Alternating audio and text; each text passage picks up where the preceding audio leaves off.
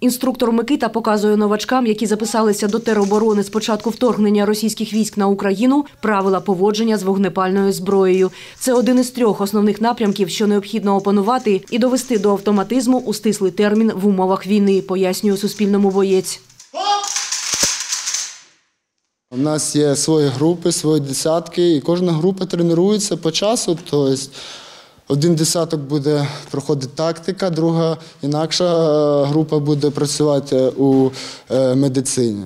Як правильно додати перву допомогу при ранінні, як е, кровотечу зупинити. Зараз таке твориться, що людей не можуть вивезти навіть котрий в колі стоять, тот же Чернігів, тот же Харків, теж Маріуполь. Людей оперують просто в підвалах, а їм не дають навіть вивезти в нормальну лікарню. Колишній студент, нині досвідчений військовий. Інструктор Микита у лавах Збройних сил України з 2015 року. Спочатку, як попав на фронт, я, мене дуже добре тренували. І тренували з різних стран. Хлопці приїжджали якось з Великобританії, як із США. Тобто, е, як нас викинути на фронт, нас не викидало як м'ясо. Ні, ми спочатку тренувалися, дуже довго тренувалися. Як досвід ми той отримали, то малими групами виїжджали на бойові, на ті позиції і вчились. Було страшно, всім було страшно. І всі ми були на одному рівні з хлопцями, і неважно, котрий був вік. Тобто, якщо тобі там 18 років, а йому 60, ви були разом, один рівень був.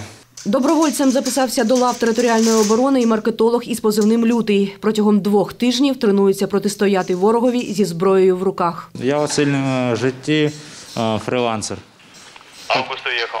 Тобто е, роблю е, у інтернеті, так скажемо. Коли окупант приходить до тебе на землю,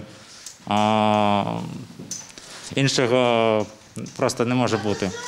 Треба йти брати зброю та захищати свій рідний край. Ну, автомат, рація, магазини з боєприпасами. Боєць із позивним Шкипер показує військову амуніцію, що важить близько 15 кілограмів. Ще з магазинами, ще магазинів багато.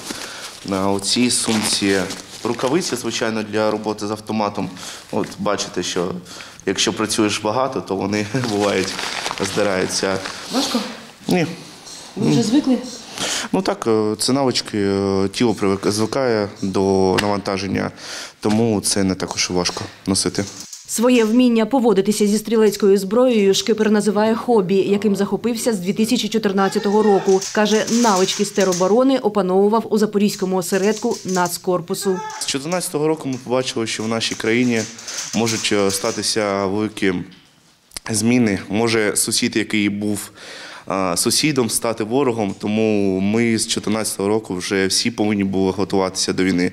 А хто не готувався, ну е, ці люди, мабуть, не знали, не думали, що може постати повноцінна війна, і б не були готові до цього. А ми готові. За словами Шкипера, бійці тероборони захищатимуть Запоріжжя на блокпостах та під час захисту стратегічних об'єктів міста. Новини на Суспільному. Запоріжжя.